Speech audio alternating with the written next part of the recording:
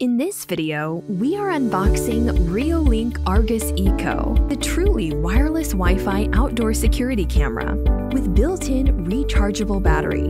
When you open the box, you will find the camera itself and all the parts, so you can get it set up as quickly as possible to get started. Argus Eco camera is completely wire-free, over 2.4 GHz Wi-Fi, charged by the inbuilt 5200 rechargeable battery the camera lasts 4 to 6 months in standby mode and up to 960 minutes of motion recording or live viewing.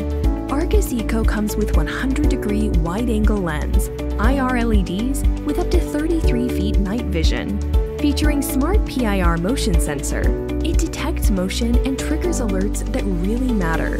Built-in mic and speaker, so you can speak to the delivery man even when you're in the office. Micro SD card slot, saving motion events for later playback. Before setting it up, turn the camera switch on. Run Reolink app. Click Add New Device button. Scan the QR code on the camera.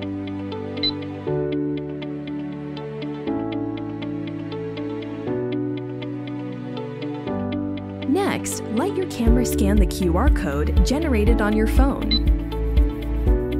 Connection to the router succeeded. Welcome to Reolink. You can install Argus Eco camera anywhere indoors and outdoors. We are showing you how to install Argus Eco camera on a wall.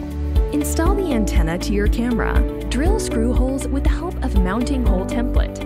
Align the security mount and screw it into the wooden wall.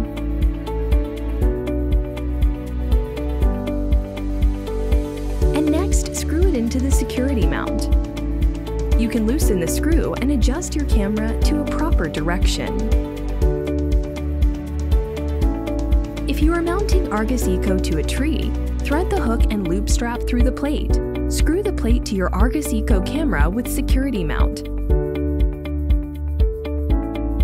Fasten the wrap strap to the tree.